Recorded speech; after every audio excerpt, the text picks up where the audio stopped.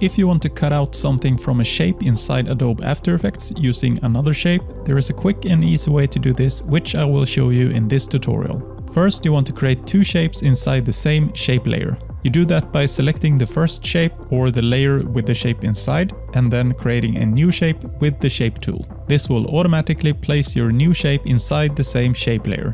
Now click contents inside your shape layer and then click add right next to it.